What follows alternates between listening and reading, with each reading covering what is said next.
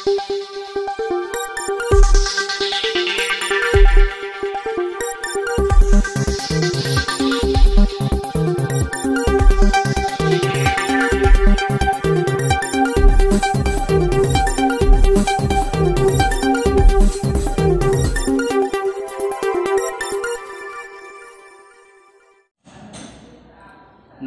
मैं हूँ चंद्रदेव पनवार। आप देख रहे हैं जेबीजे न्यूज़ 24 दर्शकों आज हम एक बहुत बड़ी सनसनीखेज समाचार आपके बीच लेकर आया हूँ। इसे आप ध्यानपूर्वक सुने और इस वीडियो को देखें। दर्शकों, जैसा कि आप सभी जानते हैं कि बिहार सरकार के द्वारा शराब का निर्माण करना एवं सेवन करने पर पूरी तरह से प्रतिबंध लगा दी गई है, जिसे लेकर उत्पाद विभाग जम्मू के द्वारा लगातार छापेमारी अभियान चलाकर शराब निर्माण करने वाले शराब विक्रेताओं तथा शराब का सेवन करने वालों के खिलाफ लगातार छापामारी अभियान चलाया जा रहा है।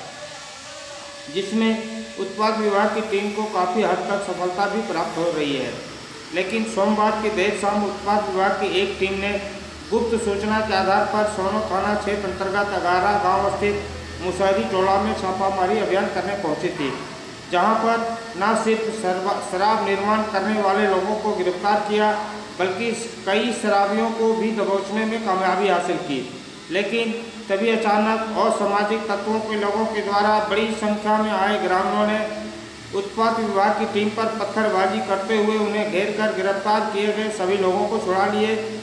इस पत्थरबाजी में उत्पाद विभाग की टीम के कई जवानों को गहरी चोटें आने की सूचना है। साथ ही उत्पाद विभाग की टीम के सफ़ेद कलर के स्कॉर्पियो वाहन का शीशा टूटकर क्षतिग्रस्त हो गया है। यह सामाजिक तत्वों के द्वारा किए गए इस पत्थरबाजी के बाद उत्पाद विभाग की टीम किसी प्रकार वहाँ से भागने में सफल हुए।